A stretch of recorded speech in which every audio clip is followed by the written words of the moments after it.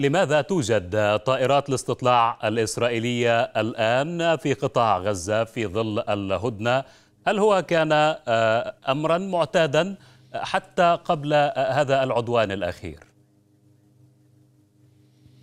نعم هذه الطائرات الاستطلاع الإسرائيلية تشكل عبئا كبيرا على حياة السكان وهم كثيرا ما كانوا يطالبون أن يتم إدراجها ضمن أي اتفاق لوقف إطلاق النار نظرا لصوتها المزعج الذي تحدثه طيلة آه، الساعات. هذه قبل العدوان وما بعد العدوان تبقى في الأجواء لا تفارق سماء القطاع في محاولة منها لإبقاء عينها القطاع تحت عينها ونظرها.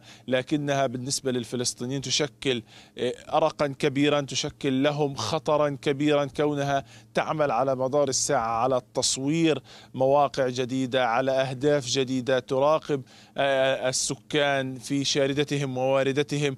وفي نفس الوقت هي آلة حرب إسرائيلية تطلق صواريخها كانت خلال أي تصعيد إسرائيلي. وخلال الأيام الثلاث الماضية كانت ترصد وتطلق الصاروخ تجاه الهدف الذي تريده.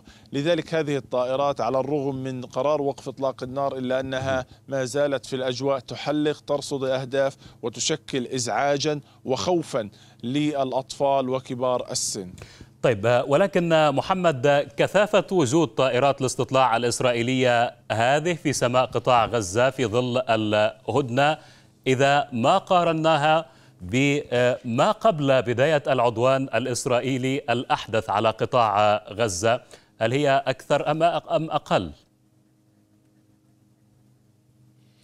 هي بالعادة يعني آه، عدد الطائرات يقل مقارنة في وقت التصعيد الذي يكون على قطاع غزة لكن هي بالنسبة للجيش الإسرائيلي مصدر معلومات دائم تتابع فيه الأجواء، تتابع فيها الأماكن التي يطلق من خلالها الصواريخ وترصد حركة المواطنين على الأقل، لكن بالنسبة للفلسطينيين تشكل خوف، تشكل قلق، تشكل مصدر إزعاج، تشعر المواطن الفلسطيني بأن حالة الحرب لم تنتهي بعد، فلذلك هذه الطائرات الاستطلاعية التي تتواجد في كل محافظات قطاع غزة دائما ما يحلم الفلسطينيين ألا يسمعوا صوتها لأنها بالنسبة لهم تشكل موت كانت وما زالت حتى هذه اللحظة. تزداد هذه الطائرات وانتشارها في وقت التصعيدات والحروب الإسرائيلية على القطاع وخلال الأيام العادية تقل حدتها لكنها لا تغادر السماء مطلقا.